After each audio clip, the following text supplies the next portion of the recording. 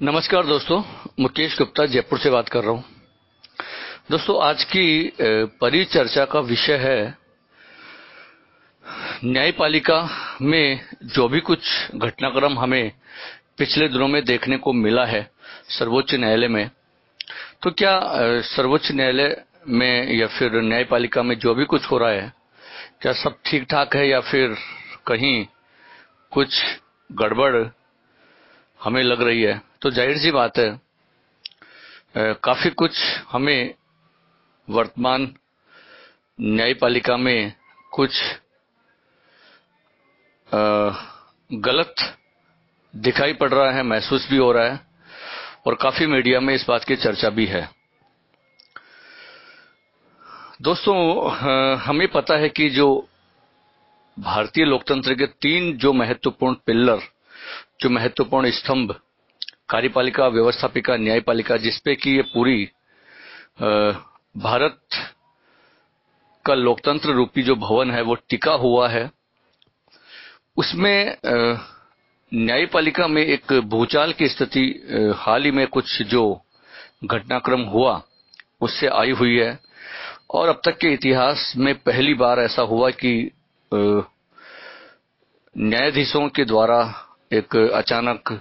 Press conference के द्वारा अपनी बात रखी गई और न्यायपालिका के अंदर जो भी कुछ उनमें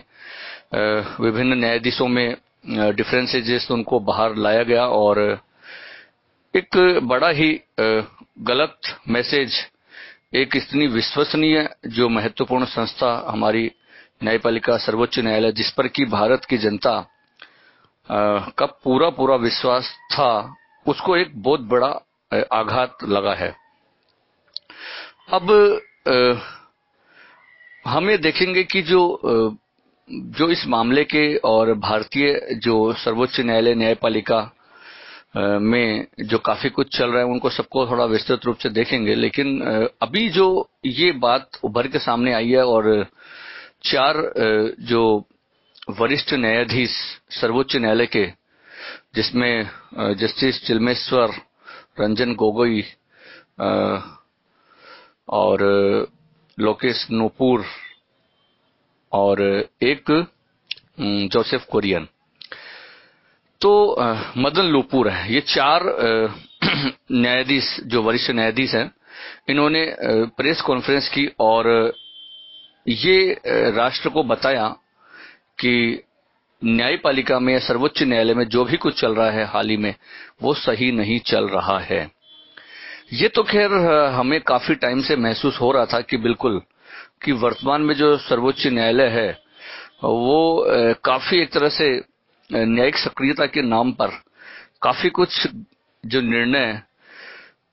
हमें दिखाई दे रहे थे कि जिनमें कुछ गलत निर्णय भी थे और कहीं न कहीं मिस अंडरस्टैंडिंग विभिन्न न्यायाधीशों में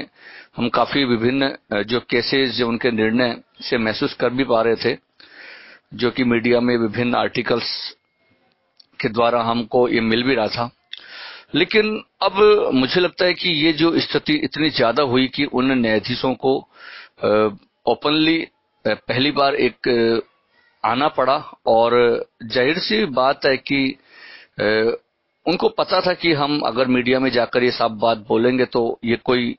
बड़े ही महत्वपूर्ण ऐतिहासिक कदम हमारा होगा। लेकिन फिर भी उन्होंने ऐसा किया। क्योंकि उनको शायद कोई रास्ता और कुछ सही लगा नहीं। हालाँकि और कुछ रास्ते हो सकते थे। हम्म, लेकिन फिर भी उन्होंने ये रास्ता चुना। अब उसमें जो दो तीन बातें प्रमुख रूप से उन्होंने अपनी जो पूरी बात में कही जो उनको लगी कि वर्तमान में जो सीजीआई है एक तरह से चीफ जस्टिस ऑफ़ इंडिया हैं न्यायमूर्ति दीपक मिश्रा। तो वो बड़े ही एक तरह से स्वेच्छाचारी तरीके से उनके शब्दों में, कि स्वेच्छाचारी तरीके से वो कुछ सर्वोच्च न्यायालय की जो विभिन्न जो गतिविधियाँ हैं, उनको हैंडल कर रहे हैं। उनमें दो तीन बातें उन्होंने कही कि एक तो जो सर्वोच्च न्यायालय का मुख्य न्यायाधीश होता है, वो अन्य न्यायाधीशों की बराबरी होता है, ठीक है, समानों में प्रथम होता है वो। तो लेकिन ये जो वर्तमान सीजेआई है, वो अपने आप को सर्वोच्च न्यायालय में सबसे ऊपर मान रहे हैं, जबकि ये गलत है। संकीर्ण जो उन्होंने प्रश्न उठाया उनकी जो पूरी बात में लगी तो उनका एक दूसरा ये था कि जो भी वर्तमान में जो जो मुख्य न्यायाधीश है उनके द्वारा जो कौन सा केस कौन सी बेंच में सुना जाएगा, कौन सा उसका निर्णय होगा, इस बात का निर्णय करना तो 1998 के जो सुप्रीम कोर्ट के फैसले से जो डिसाइड हुआ था कि जो सीजेआई है, वो मास्टर ऑफ़ रोस्टर होंगे, लेकिन कुछ रूल्स और रेगुलेशन को फॉलो करते हुए वो बिल्कुल डिसाइड करेंगे कि कौन सा जो केस है, वो किस बेंच में, किस कन्फीट में उसकी सुनवाई होगी। लेकिन वो उन सब बातों को दरकिनार करते हुए, वो अपनी मनमर्जी के जो अपने जो स्वेच्छा से ही विभिन्न केसों को वो सौंप रहे थे कि कौन सा जो केस कौन सी बेंच में, जी अपनी स्वेच्छा, वो उस रूल्स रेगुलेशन को उसमें काफ़ी वो उसमें उनको तोड़ रहे थे। तो ये एक उनको गलत लग रहा था। एक उन्होंने जो प्रश्न था महत्वपूर्ण कि बहुत सारे जो आ, कई ऐसे जो राजनीतिक और रूप से संदिग्ध मामले जिनका की बोर बहुत ही दूरगामी असर भारतीय राजनीति पर और भारतीय लोकतंत्र पर पड़ने वाले हैं। ऐसे जो संदिग्ध मामले हैं राजनीतिक दृष्टि से भी उन मामलों को भी वो बहुत जूनियर जो जज हैं बहुत जूनियर जो जज हैं सर्वोच्च न्यायालय में उनको वो सौंप रहे हैं। सीनियर जजों को दरकिनार करके और वो जूनियर जजों को अपनी जो स्वेच्छा से, अपनी इच्छा से वो ऐसे मामलों को भी सौंप रहे हैं, जबकि उनके पास कब अनुभव है और वरिष्ठ कई न्यायाधीश उनके पास ज़्यादा अनुभव है तो उनको सौंपने चाहिए थे। तो इन सब, इन जो दो तीन, इन बातों से बिल्कुल साफ़ लग रहा है कि कहीं न कहीं जो विभिन्न न्यायाधीशों में एक तरह से जो उनमें सामंजस्य का अभाव और उनमें कहीं न कहीं बहुत ज़्यादा गड़बड़ सर्वोच्च न्यायालय में लग रहा था लग रहा है। अब हालाँकि ये बहुत ही शर्मनाक और बहुत ही कम से कम घट, जो घटनाक्रम है पूरा बहुत ही गलत है कम से कम भारतीय लोकतंत्र के लिए और भारत के लिए भारतीय जनता का जो सर्वोच्च न्यायालय के प्रति विश्वास है उसके लिए। लेकिन जो भी हुआ है खैर, हालाँकि अच्छा नहीं हुआ है, लेकिन कहीं न कहीं इससे ये तो स्पष्ट है कि सब कुछ सही चल नहीं रहा है सर्वोच्च न्यायालय में। अब पिछले दिनों में कई ऐसे निर्णय रहे, कई ऐसे मामले रहे, जिनसे ये जो बहुत ज़्यादा डिफरेंसेज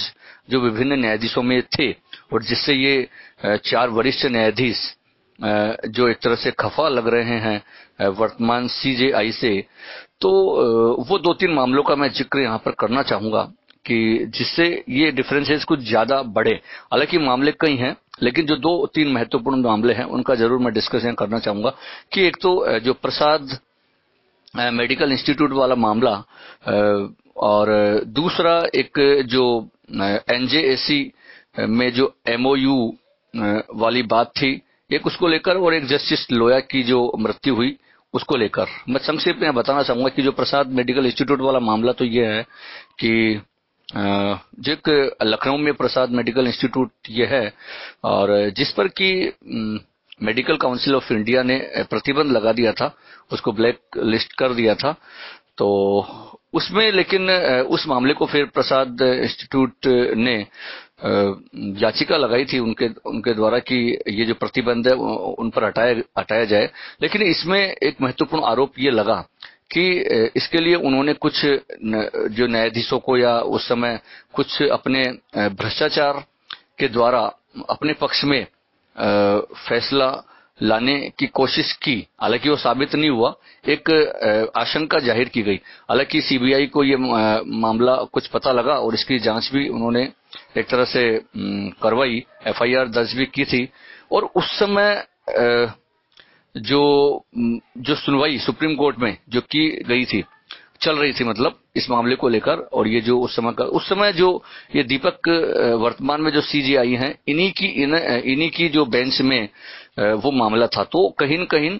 उस प्रसाद मेडिकल इंस्टीट्यूट के मामले से वो भी एक तरह से जुड़े हुए थे, अप्रत्यक्ष रूप से। सीधा सीधा कोई आरोप उन पर नहीं था। लेकिन अभी जो वरिष्ठ वकील हैं जो प्रशांत भूषण काफ़ी तो उन्होंने एक याचिका लगाई थी कि उस मामले की दोबारा एक निष्पक्ष जाँच करवाई जाए, क्योंकि जिससे कि जो लोगों को न्यायपालिका पर जो विश्वास है वो बना है, वो बना रहे। और उन्होंने ये याचिका जो जो चिलमेश्वर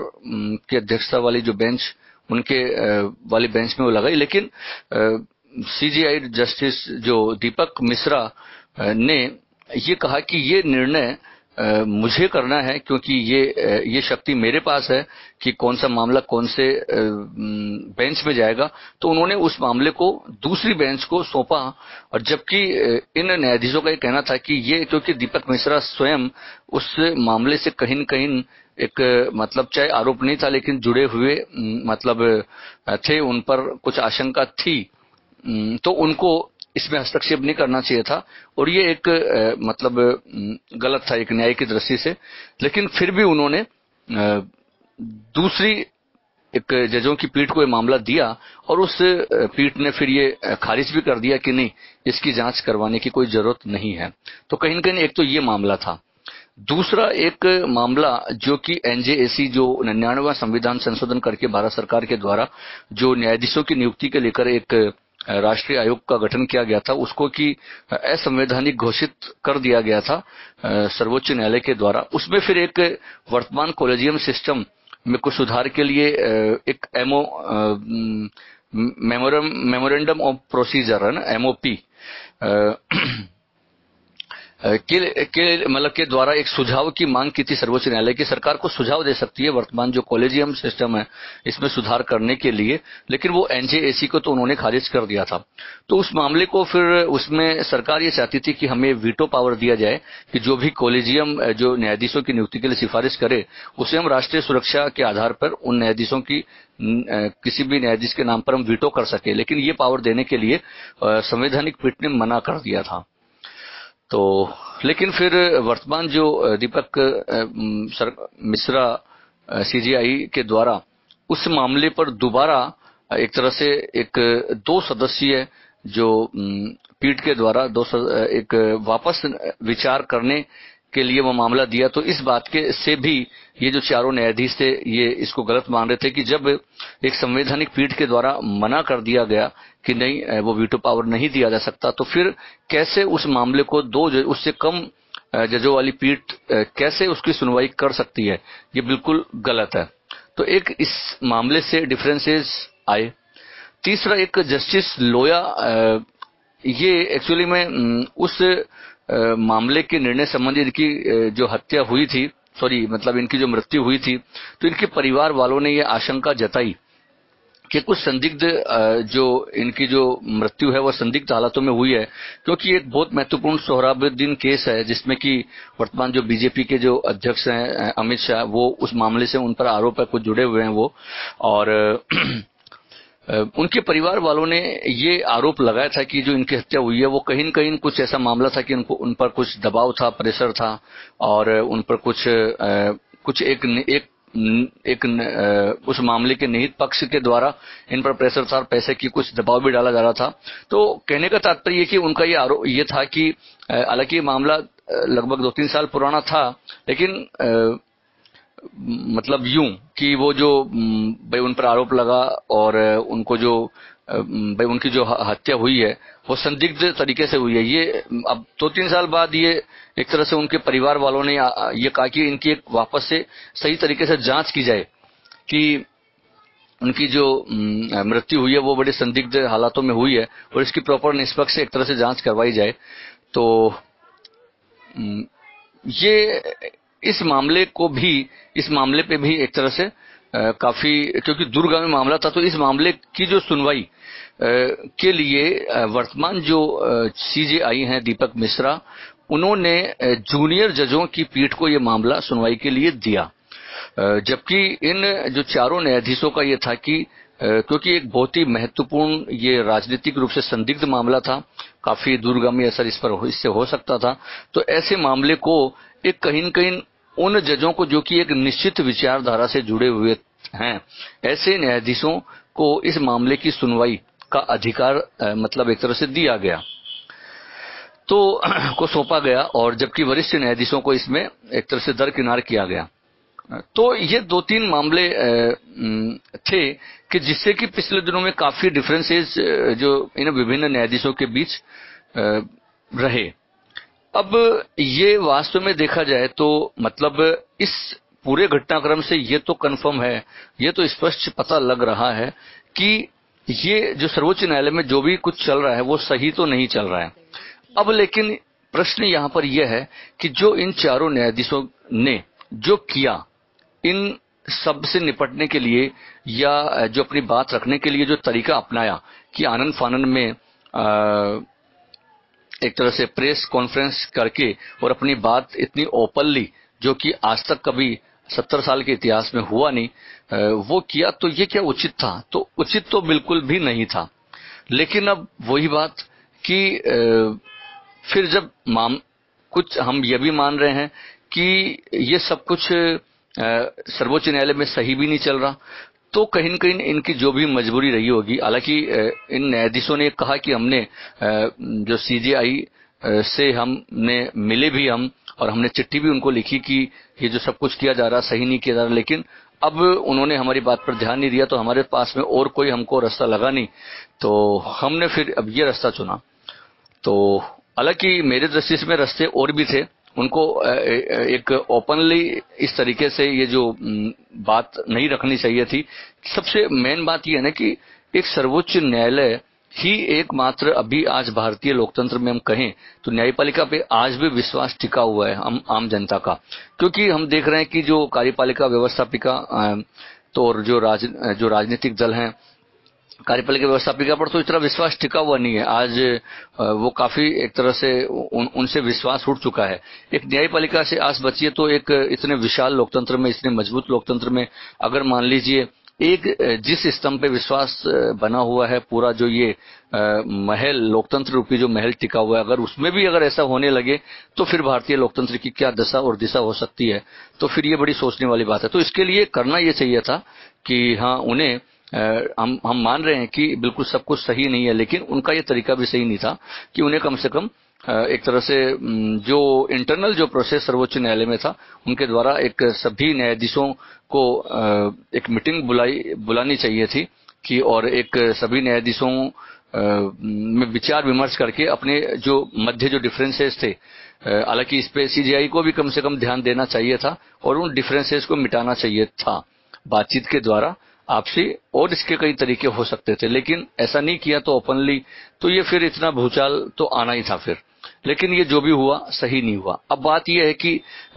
ये जो न्यायपालिका में गड़बड़ चल रहा है, वो काफ़ी टाइम से खैर चल रहा है, क्योंकि हम देख रहे हैं कि जब से न्यायिक सक्रियता का कॉन्सेप्ट आया है, इसके बाद भी हम देख रहे हैं कि जो न्यायपालिका है, वो काफ़ी संविधान से भी परे एक तरह संविधान से भी ऊपर अपने आप को मानने लगी है, जबकि हमारे यहाँ पर न्यायिक सर्वोच्चता का कॉन्सेप्ट नहीं है। हमारे यहाँ पर न विधायी सर्वोच्चता है, न न्यायिक सर्वोच्चता हमारे यहाँ पर सर्वोच्च संविधान है। और विधायिका और न्यायपालिका जो बिल्कुल और कार्यपालिका सब हमारे संविधान के अधीन है। लेकिन कहीं कहीं जो न्यायपालिका है वो पिछले दिनों न्यायिक सक्रियता के नाम पर हम देख रहे हैं कि व्यवस्थापिका के काम भी कर रही है, कई कानून भी वो बना रही है, कई आदेश भी दे रही है, जबकि सेपरेशन ऑफ़ पावर के रूल्स को भी वो फॉलो नहीं कर रही है, जबकि हमारे यहाँ पर तीनों जो अंग हैं सरकार के, इन तीनों अंगों के अपने अपने काम है, लेकिन कहीं न कहीं हम चाहे अभी पिछले दिनों में कई मामले ऐसे रहे कि जहाँ न्यायपालिका अपने अपने जो निर्णयों को बदलते भी रहे हैं उसके अलावा कई ऐसे ऐतिहासिक, कई ऐसे निर्णय दिए गए हैं जहाँ वो निर्णय गलत रहे हैं। और विशेष रूप से न्यायपालिका अपने आप को सर्वोच्च मानती रही है। जैसे अभी हम एनजेएससी के मामले को देखें तो न्यायाधीशों की नियुक्ति वाले मामले को किस प्रकार जो जो संसद ने इतने महत्वपूर्ण बिल को पारित करके भेजा और उसको असंवैधानिक घोषित कर दिया। तो इसके लिए तो मैंने पहले भी एक ऑडियो में हमने इस पर डिस्कस किया था। तो मेरी दृष्टि में वो बिल्कुल गलत था, क्योंकि ये दुनिया में कहीं भी ऐसा नहीं है कि जहाँ न्यायाधीशों की नियुक्ति स्वयं न्यायाधीश ही करते हों। लेकिन एकमात्र यही है। हालाँकि फिर भी जो वर्तमान कॉलेजियम सिस्टम को ही उन्होंने सही माना, और हालाँकि इसको लेकर यद्यपि न्यायपालिका, सर्वोच्च न्यायालय ने स्वीकार किया भी उस संवैधानिक पीठ ने कि हाँ हम मानते हैं कि कहीं कहीं कॉलेजियम सिस्टम में कुछ कमी है लेकिन इसके लिए मेमोरेंडम ऑफ़ प्रोसीजर की उन्होंने बात की कुछ सुझाव दिया जा सकता सरकार के द्वारा। तो वो लेकिन उन्होंने एन, जो एनजेएसी को तो नहीं माना जो राष्ट्रीय न्यायिक नियुक्ति आयोग का जो बिल उसको तो असंवैधानिक घोषित उन्होंने किया। तो वो एक बहुत गलत निर्णय मैं मानूँगा सर्वोच्च न्यायालय के द्वारा। इसके अलावा कई ऐसे निर्णय रहे थे, राष्ट्रगान वाला भी को गाने वाला जो निर्णय रहा, चाहे इससे पहले जो नेशनल हाईवे पर जो शराबबंदी, शराब की दुकानों पर रोक लगाने वाला निर्णय रहा, और कई ऐसे मौलिक अधिकार संबंधी निर्णय, बहुत सारे ऐसे निर्णय हैं कि जहाँ पर कहीं न कहीं ऐसा लगा कि जो काम जो काम होना तो जो काम कार्यपालिका और विधायक को करना चाहिए था, लेकिन वो न्यायपालिका कर रही है, न्यायिक सक्रियता के नाम पर। हालाँकि उसमें एक तर्क ये दिया जाता है कि चलो कि न्यायपालिका और न्यायपालिका को भी ये मौका मिला क्योंकि विधायिका और कार्यपालिका सरकारें अपने जो निर्धारित कर्तव्य निर्धारित काम उनको पूरा नहीं कर रही है तो फिर न्यायपालिका को तो करना ही पड़ेगा एक लोकतंत्र को बचाने के लिए। तो वो सारी बातें हैं लेकिन कहीं न कहीं मुझे लगता है कि एक अब बहुत कुछ हो, हो चुका लेकिन एक न्यायिक सक्रियता के नाम पर जो कि हालाँकि भारतीय संविधान में कहीं भी न्यायिक सक्रियता का कॉन्सेप्ट सीधे सीधे कहीं है नहीं, लेकिन फिर भी न्यायिक सक्रियता को अपनाया गया। लेकिन कहीं न कहीं सीमा तो होनी चाहिए, एक बाउंडेशन तो होना चाहिए, एक सीमा रेखा तो होनी चाहिए कि न्यायपालिका किस हद तक जा सकती है। तो ये तो है ही नहीं क्योंकि संविधान में जो सेपरेशन ऑफ़ पावर है, उसका कहीं न कहीं न्यायपालिका उल्लंघन कर रही है। तो ये ये भी न्यायपालिका को सोचना पड़ेगा। अभी हम देखते हैं कि जो जब पारदर्शिता और जवाबदेहिता की बात आती है तो वो राजनीतिक दलों पर, सरकार पर, कार्यपालिका, विधायिका पर तो वो पारदर्शिता और जवाबदेहिता की बात करती है, लेकिन न्यायपालिका स्वयं अपनी पारदर्शिता और जवाबदेहिता की बात नहीं करती है। अगर स्वयं सर्वोच्च न्यायालय में अगर कोई आरटीआई दायर करता है तो उसको अपने ऊपर इम्प्लीमेंट नहीं करवाना चाहती है, जबकि राजनीतिक दलों पर और सरकार पर करवाना चाहती है। तो ये ये दोहरे मानदंड जो न्यायपालिका को है, और अपने आप को एक तरह से तानाशाह या स्वेच्छाचारी करने की दिशा में जो सर्वोच्च न्यायालय बढ़ चला है, और एक नवीन प्रवृत्ति, जो नई संस्कृति हमको ये देखने को मिल रही है और एक, हालाँकि न्यायिक सक्रियता कॉन्सेप्ट बहुत अच्छा था, लेकिन कहीं न कहीं उस पर एक, कहीं न कहीं एक सीमा तो होनी चाहिए। एक असीमित न्यायिक सक्रियता भी भारतीय लोकतंत्र के लिए कहीं सही नहीं है। यही कारण है कि हम देखते हैं, लेकिन इसके लिए जो हमारी संसद को जो विभिन्न राजनीतिक दलों को भी देखना पड़ेगा, क्योंकि उनमें भी एकजुटता लानी पड़ेगी, एक दबाव तो रखना ही पड़ेगा, क्योंकि अगर मान लीजिए आज तक के इतिहास में कई भ्रष्टाचार के ऐसे न्यायाधीशों पर मामले आए, कई ऐसे लेकिन किसी भी न्यायाधीश के खिलाफ महाभियोग प्रस्ताव पारित नहीं हो पाया। और उसका मुख्य रीजन वही राजनीतिक दलों में एक मत्ता का अभाव, कई ऐसे हुए, लेकिन अभी न्यायपालिका या न्यायाधीश इस बात को मानते हैं कि हमारे ऊपर कोई रोक लगाने वाला है नहीं, हमको कोई हटाने वाला है नहीं तो वो इस तरीके से वो गैर जिम्मेदाराना रवैया एक तरह से देखा जा रहा है। तो तरीका बिल्कुल सही नहीं था तो काफ़ी सुधार की ज़रूरत है इसमें, और लेकिन जो भी कुछ हुआ, वो सही नहीं हुआ, लेकिन फिर भी हम इस रूप में देखें तो इसके लिए कुछ न कुछ कदम उठाने पड़ेंगे। हालाँकि अभी कल एक बार काउंसिल ऑफ़ इंडिया के द्वारा कुछ एक सात सदस्यीय एक जो जो एडवोकेट है, वो बातचीत कुछ करेंगे, अब इस मामले को सुलझाएँगे और कहीं न कहीं जो न्यायपालिका की जो विश्वसनीयता है, सर्वोच्च न्यायालय की जो विश्वसनीयता उसको बनाए रखने में और न्यायाधीशों के बीच जो विभिन्न डिफरेंसेज आए हैं, जो आपसी जो अविश्वास रहा है कहीं कहीं उनको खत्म करने पर ज़ोर दिया जाएगा और कहीं कहीं मुझे लगता है कि दीपक मिश्रा सीजीआई साहब को भी एक तरह से एक मीटिंग बुलानी चाहिए। और जो भी विभिन्न जो न्यायाधीश है उनके मन में जो भी प्रश्न है उन, जो भी उनको दुविधा है उनको कहीं कहीं सॉल्व करना चाहिए बात रखनी चाहिए कहीं कहीं एक लोकतांत्रिक तरीके से। और क्योंकि ये बात बिल्कुल सही है कि जो सर्वोच्च न्यायालय का मुख्य न्यायाधीश है सीजीआई है वो सर्वोच्च नहीं है वो सबके समान ही है लेकिन हाँ प्रथम है लेकिन इसका मतलब ये नहीं है कि वो उन सबसे ऊपर हैं, ऐसा नहीं है। और इन चारों जजों की भी गलती रही है कि इनको, इन्होंने जो भी तरीका अपनाया है, वो सही तरीका नहीं है। और कहीं न कहीं एक वैचारिक जो मतभेद के लिए के कारण या और कोई कारण रहे होंगे, उन्होंने ऐसा किया तो वो बिल्कुल तरीका सही नहीं है। कम से कम भारतीय न्यायपालिका के लिए, भारतीय लोकतंत्र के लिए तो काफ़ी इसमें सुधार की ज़रूरत है। और सरकार का बहुत अच्छा रवैया मुझे लगता है इसमें रहा कि बीच में पढ़ने की उनको कोई आवश्यकता भी नहीं थी। और सर, सर, सरकार ने ये ही किया उन्होंने कि बिल्कुल ये उनका इंटरनल मामला है। ये क्योंकि अगर सरकार इसमें हस्तक्षेप करे तो वो भी गलत होगा। तो सरकार ने बिल्कुल सही स्टैंड लिया। तो बिल्कुल सरकार को हस्तक्षेप करने की इसमें आवश्यकता भी नहीं है। और ये न्यायपालिका को ही अपने अंदर जो भी कुछ गड़बड़ हो रहा है, उसको सही सुधार करने की आवश्यकता है और उन डिफरेंसेस मिटाने की आवश्यकता है और कहीं न कहीं जो पारदर्शिता और जवाबदेहिता पर अब काम कम से कम सर्वोच्च न्यायालय को करना पड़ेगा, नहीं इसका इफ़ेक्ट कहीं अब विभिन्न जो उच्च न्यायालयों पर भी नहीं पड़े। अगर ये एक नई संस्कृति अगर चल पड़ेगी तो भारतीय लोकतंत्र के लिए अच्छी नहीं होगी कि कल को मान लीजिए हाई कोर्ट में भी फिर कोई न्यायाधीश होंगे उन वो भी आकर मीडिया को संबोधित करेंगे। तो ये अगर परंपरा, ये संस्कृति नहीं विकसित हो गई तो ये न्यायपालिका के लिए, सर्वोच्च न्यायालय के लिए, अन्य न्यायालयों के लिए ये बिल्कुल सही संस्कृति नहीं होगी। तो इसके लिए कुछ कुछ करना पड़ेगा और अंदर ही इसको अब एक तरह से स्वयं की ज़िम्मेदारी खुद को न्यायपालिका को माननी पड़ेगी और अब जो एक लोगों का जो विश्वास है, उसको कायम रखना पड़ेगा। तो इस पर तो यही विचार है मेरे। बाकी, धन्यवाद।